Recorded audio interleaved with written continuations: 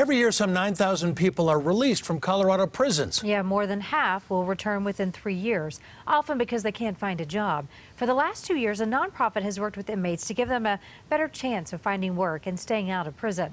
Shawn Chitnis traveled to Crowley County, where a group of recent graduates of one prison had the chance to meet with business leaders and the governor. I was attracted to a nefarious lifestyle. From the outside, the Arkansas Valley Correctional Facility looks like any other prison.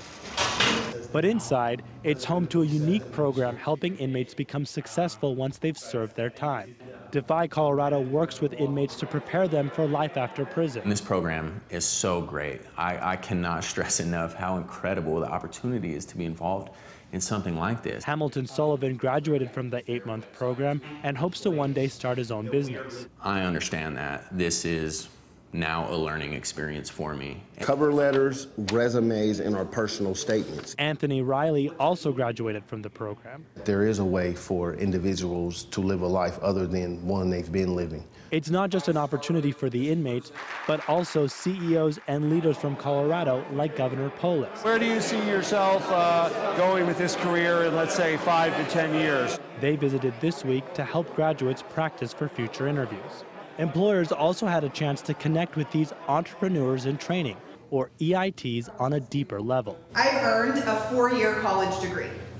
Learning more about each other and what they have in common. I dropped out of high school. It's really great that you were able to get this kind of uh, experience here that will uh, prepare you personally and professionally.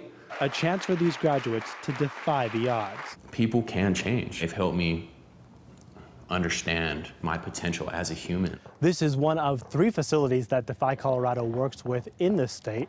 They hope to expand to other locations in 2020.